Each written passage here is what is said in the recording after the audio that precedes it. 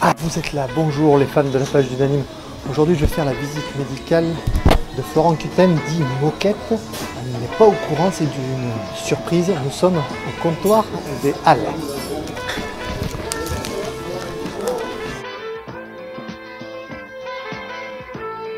Ben oui, ça va très bien. Je suis levé en pleine forme, euh, comme tous les matins. Et 1,68. Moins de 5 kilos.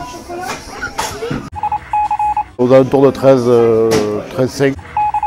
varie selon euh, les moments de la journée, mais je dois être dans les 80 à peu près. Début décembre. 0. 10. La moitié. Euh, les barres parallèles.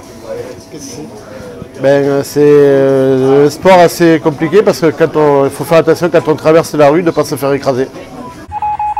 Je regarde Facebook. J'embrasse ma femme.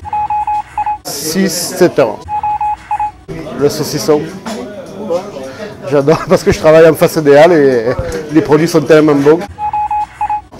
Plus beaucoup. Tout dépend le, le, timing avec les enfants. Non. Peut-être plus tard, mais pas pour le visage. Allez, au début, maintenant c'est passé. Et les lombaires. La tête. Ben, Manger sain, équilibré, acheter voilà.